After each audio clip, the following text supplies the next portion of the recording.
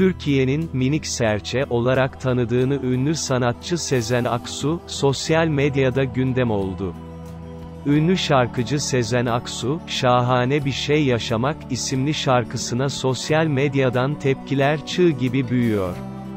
Haberimizin detaylarına geçmeden önce bir saniye videomuzu beğenip kanala abone olursanız beni çok mutlu edersiniz. Sezen Aksu'nun skandal şarkı sözlerine adeta yorum yağdı.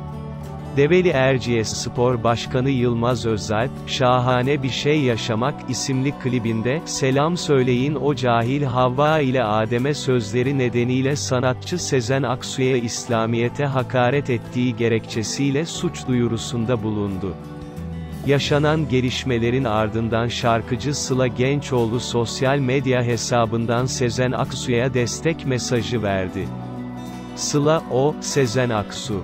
Bir milleti sinesine sığdırmış, yalnızlık hafifletmiş, umut aşılamış koskoca Sezen Aksu. İyi okumak gerekir. Okuduğumuzu anlamak gerekir. Evvelce art niyetten arınmak gerekir ifadelerini kullandı.